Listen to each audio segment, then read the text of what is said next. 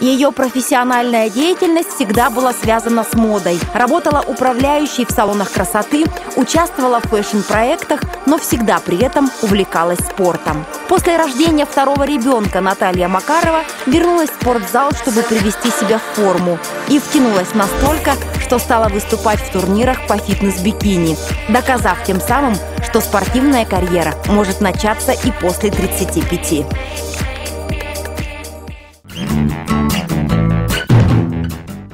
Я вообще с детства мечтала об этом виде спорта. И в 15 лет я пошла в тренажерный зал. Были обычные покрашенные стены, и да, и было просто железо, когда мы, ну вот называют у нас в нашем виде спорта, не Кетлер там, ни какой там фирмы, там, не с мягкими подголовниками, с удобными. И их было, конечно, очень мало. Не было, как сейчас, у нас много клубов, очень много программ, очень много спортивного питания. Раньше, конечно, это все был дефицит, и прогресса, конечно, такого не было.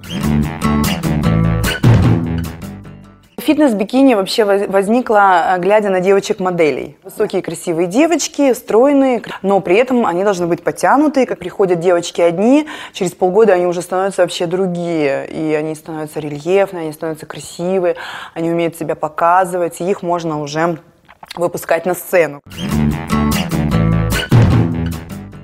Когда ты выходишь на сцену, ты не просто туда выходишь. То есть есть определенные параметры, есть а, по федерации определенная постановка рук, головы, тела. Работают все группы мышц.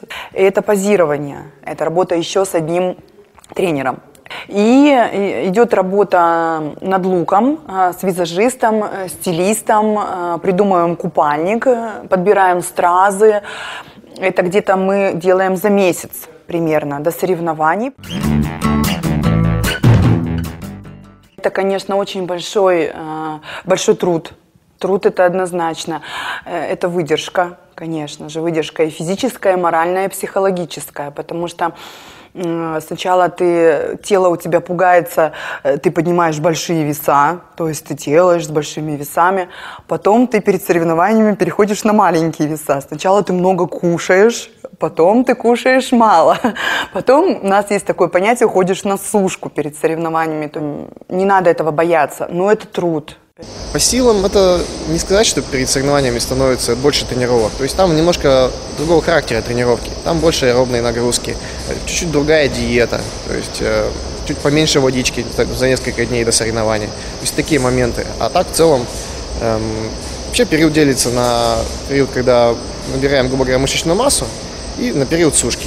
Вот. Они оба разные, оба, у обоих своих особенностей, поэтому какой из них тяжелее? Кому-то дается тяжелее масса набор, кому-то тяжелее дается сушка. Это очень индивидуально.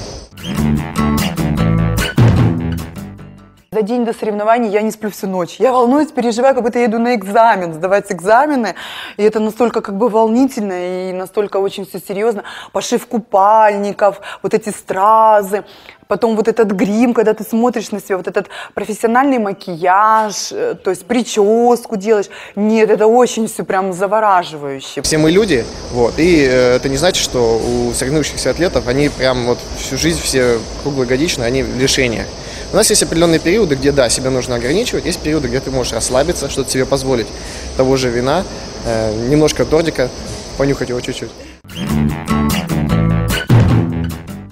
Я призываю просто э, женщин и девушек после 35 вообще заниматься фитнес-бикини. Это очень красиво, когда вы выходите на сцену в этом возрасте это просто красиво. Это смотрится очень эффектно. Во-первых, когда выходят девочки, они девочки, по ним видно, что им 20 лет, они такие еще молоденькие, взгляды у них такие. И когда выходят уже после 35 девушки, да, уже мастера, бикини-мастера, у них даже взгляд другой. То есть они себя несут на сцене по-другому, уже более осознанно, более серьезно. Я просто рекомендую всем заниматься после 35 вообще этим видом спорта.